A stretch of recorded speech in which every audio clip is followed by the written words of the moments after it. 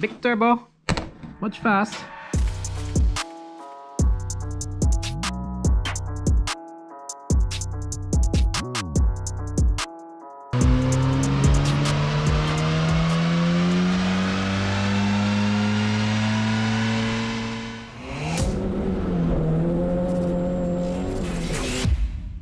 Right then, while Tom struggles with a wiper blade, he's a better mechanic than he looks at minutes, but yeah, he's given up by a defeated by a wiper blade.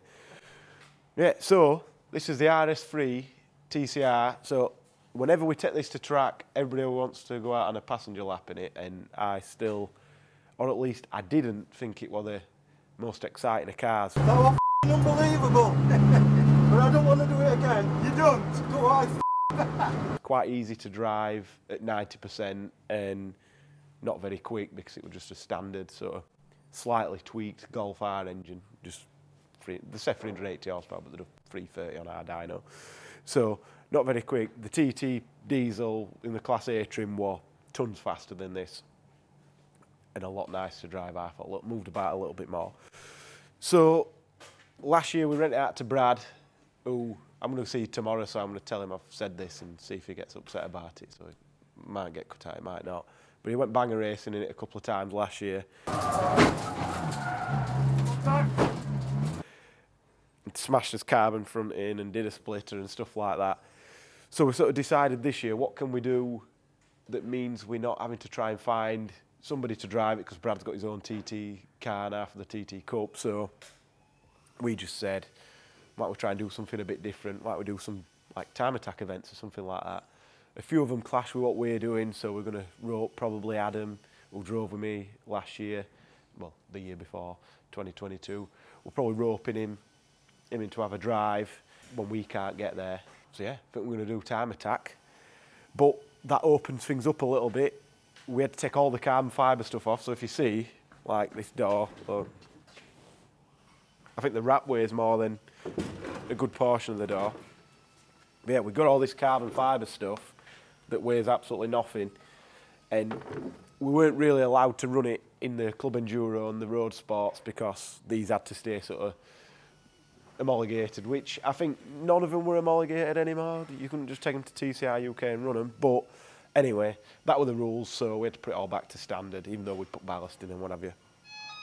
So what we can do now is put all this back on, not put any ballast in, and we can also tweak the engine a little bit. So everybody who we're racing against that had these definitely were tuning them because this one was the slowest in a straight line.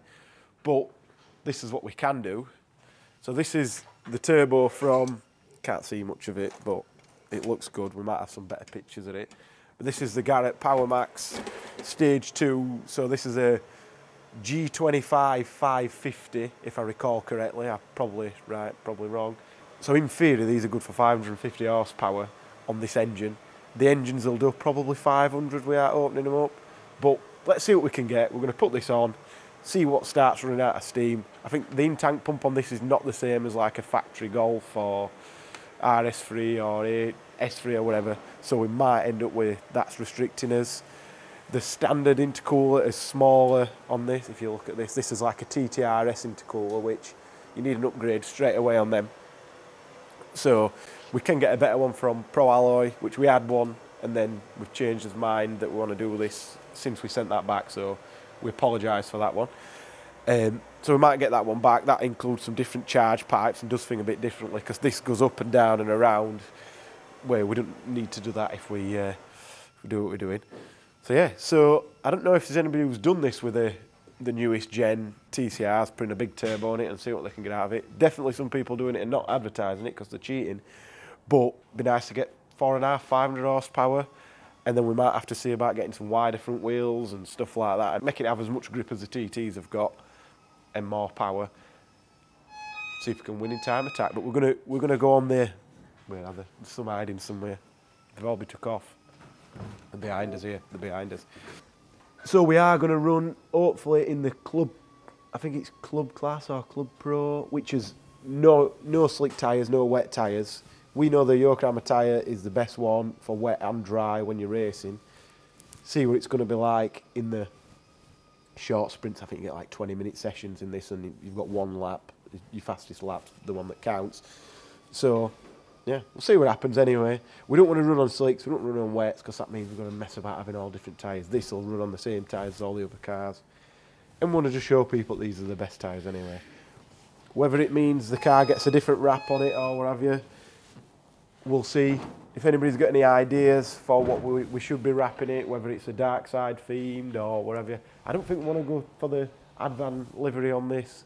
We've done that already on the TTs and the Golf, and they're still going to be running that this year. So yeah, maybe we're going to change it up a bit. We've not got anybody throwing a load of money at us this year so far. So yeah, if anybody wants to throw some money at us and get it all wrapped in theirs, it'll be at time attack and see. But yeah, not sure what we want to do with that just yet. I think that's a good way of using this car being a petrol to show what we can do because we can't. I don't think we could produce enough power with one of our two litre diesel engines to win in the higher in the higher classes. But we'll see. We'll see what the lap times are like. And yeah, go from there.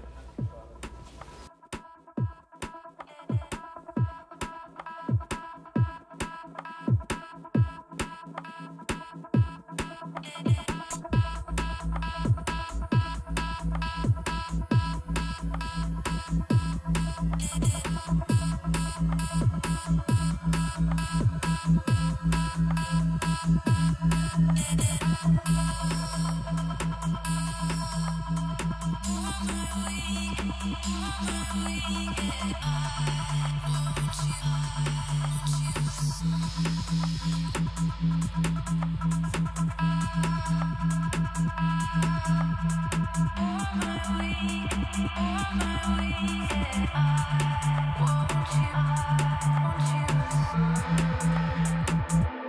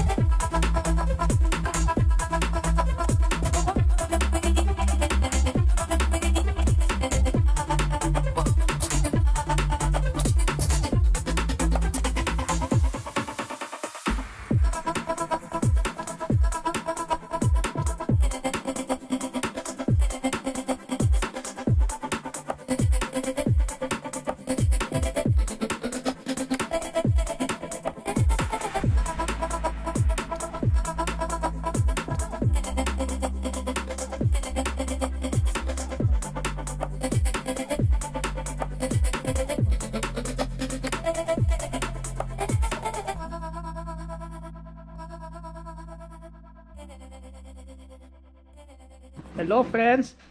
It's time to dyno a race car. Let's see what it do. Big turbo. Much fast. Let's see.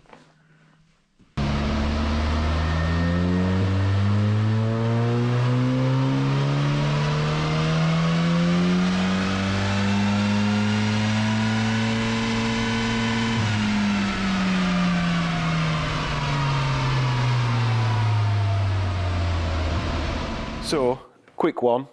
This were on the dyno on Saturday when I weren't here, and as expected, we ran out of fuel at 380 horsepower something like that. I ain't even seen graphs yet, but that's what it did. So inside this little thing here, there's a fuel pump, which this partner was from like a really old BMW or something like that. So as expected, it's tiny.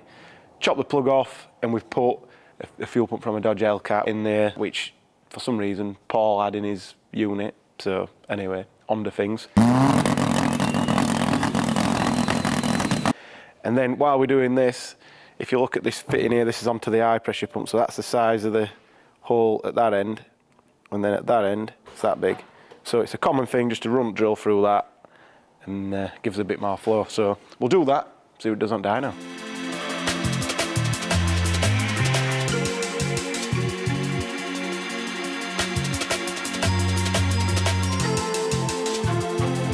So the RS3's kind of done on the dyno for the minute. We're testing tomorrow morning, so we ain't got any more time. As you can see, we've made massive improvements. So orange is what it normally does on the standard turbo. So these are meant to be 350 horsepower. They never do that on our dyno. 325 is what it's normally done. And when you're driving it, it feels flat, but they've got some weird torque limiters where it's got more torque, then it dips, then it gets, comes back, so you never feel at no point does it feel nice, I don't think, on the standard turbo. And it don't look like it drops off a lot here, but in reality, it feels like it drops off a lot on the track anyway. Just feels like you're revving it forever. We're on version 32 of the software now, so that's how painful these ECUs are to work with.